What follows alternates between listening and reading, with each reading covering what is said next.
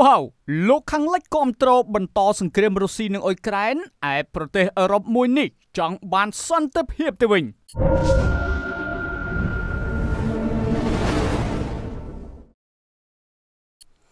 នាយករដ្ឋមន្ត្រីហុងគ្រីលោកវីកតូអូបានបាននិយាយនៅក្នុងអំឡុងថ្លែងសន្ទរកថានៅក្នុងរដ្ឋសភា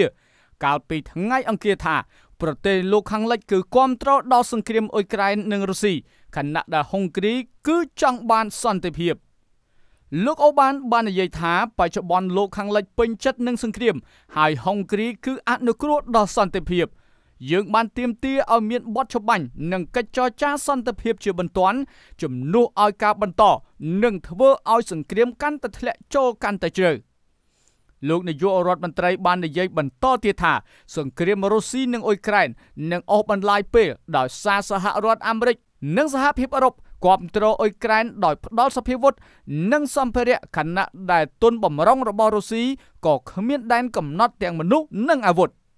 ទន្ទឹមនឹងនោះផងដែរលោកអូបានក៏បានរិះគន់ការដាក់ទណ្ឌកម្មដែលដាក់លើរុស្ស៊ីផងដែរហើយបានអះអាងថាប្រសិនបើទណ្ឌកម្មត្រូវបានដកចេញនោះតម្លៃធម្មពលនិងអតិផរណានឹងធ្លាក់ចុះពាក់កណ្ដាល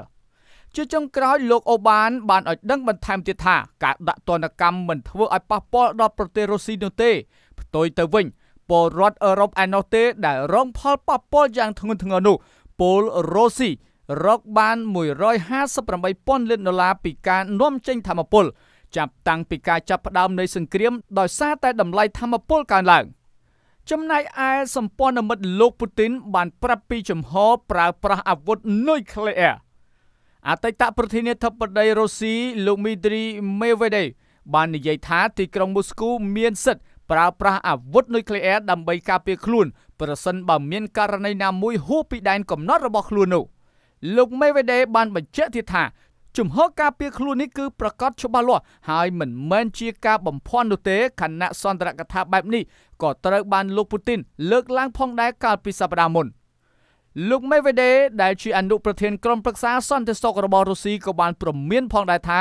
ទីក្រុងមូស្គូមានសិទ្ធិឆ្លើយតបដោយគ្មានការពិគ្រោះយោបល់ច្រើនឡើយនៅពេលដែលភាពតានតឹងបានកើនឡើងជាមួយនឹងលោកខាងលិចជំវិញការបោះឆ្នោតប្រជាមតិដែលធ្វើនៅក្នុងតំបន់ធំៗនៃទឹកដីអ៊ុយក្រែនដែលកាន់កាប់ដោយរុស្ស៊ី